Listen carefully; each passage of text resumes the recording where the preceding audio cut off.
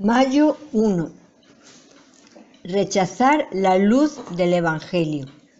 Mas cuando yo te hubiere hablado, abriré tu boca y les dirás, así ha dicho Jehová el Señor. El que oye, oiga, y el que no quiera oír, no oiga. Porque casa reverde son. Ezequiel 3:27. Lectura adicional recomendada Isaías 6, 8 a 13. Normalmente los embajadores se envían para alcanzar la reconciliación a través de palabras amigables y corteses con sus interlocutores. Sin embargo, aquí Dios sigue un método completamente contrario a ese Ezequiel afirma que Dios nos dice, el que oye, oiga, y el que no quiera oír, no oiga. Esto indicaba a los israelitas que no se les había enviado un profeta porque tuvieran alguna esperanza de recobrar la sabiduría, dado que habían demostrado con numerosos ejemplos que eran un caso perdido sino para decirles que el Señor iba a golpearlos y herirlos más aún, y que al final les asestaría un golpe mortal. Ahora vemos la confirmación de lo que el profeta había advertido anteriormente, que no se le había encomendado la tarea de enseñar, porque su trabajo fuera a ser útil y fructífero entre el pueblo común sino para inducir a los israelitas a la locura si seguían empecinados en no alcanzar la sabiduría. Dios maneja a los réprobos de diversa manera. En ocasiones parece dudar de que sean curables.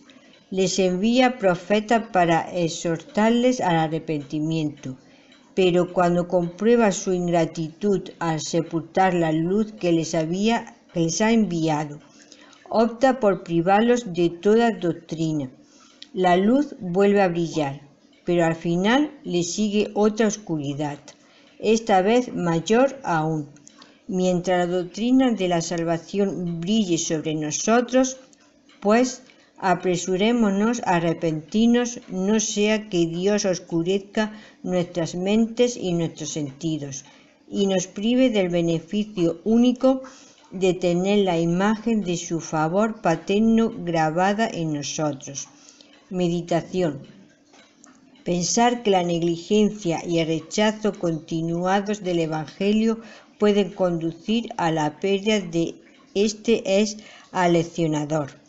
La gran bendición de la luz del Evangelio viene acompañada por la gran responsabilidad de administrar esa luz.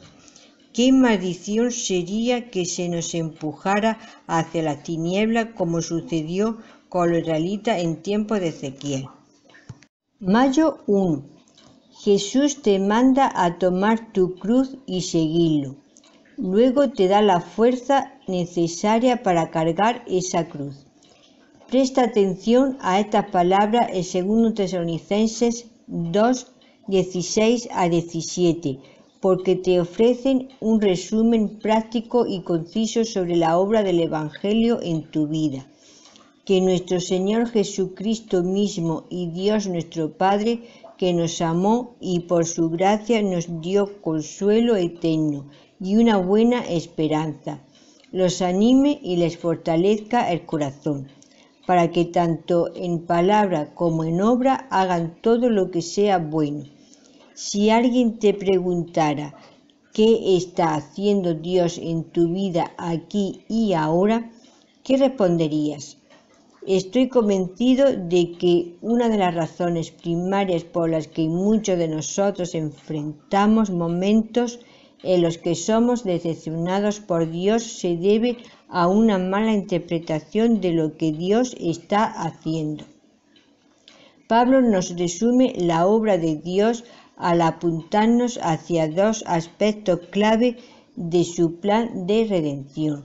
Primero, Dios ejerce su gracia para traer consuelo real a nuestros corazones.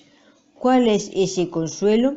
No es que cumplirá todos nuestros sueños y esperanzas, que todos nuestros recibos serán pagados. Que le agrademos a la gente o que no enfrentemos sufrimiento.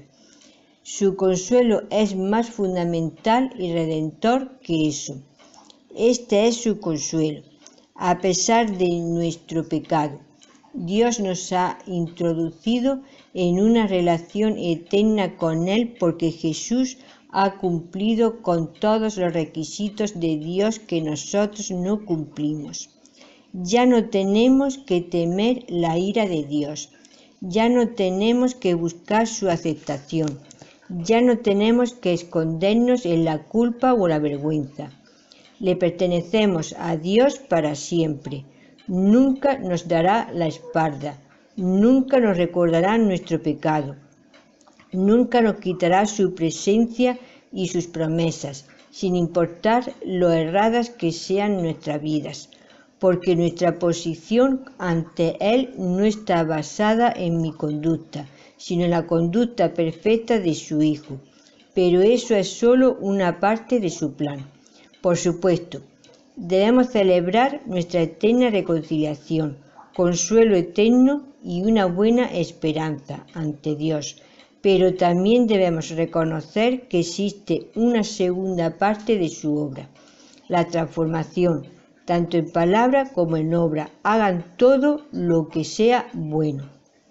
No existe un mensaje más consolador que el que fue predicado en la cruz de Jesucristo, y no existen promesas más poderosas para transformar tu vida que las que se encuentran en la gracia de esa cruz. En su gracia, Dios consuela de forma vertical nuestros corazones para que no tengamos que buscar consuelo de forma horizontal.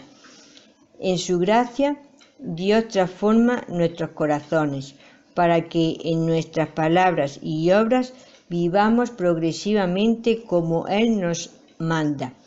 El consuelo de Dios no significa que la forma en la que vivimos no hace ninguna diferencia y el hecho de que Dios demande nuestra santidad no quiere decir que su gracia ha sido removida. Somos suyos por gracia y santidad. No quiere decir que su gracia ha sido removida. Somos suyos por gracia y somos transformados por gracia. Todo debido a su celo reconciliador y transformador. Decide sumergirte hoy en el consuelo que Dios ofrece y responde a su tierno llamado. Para profundizar y ser alentado, 2 Corintios 5, 14 al 21.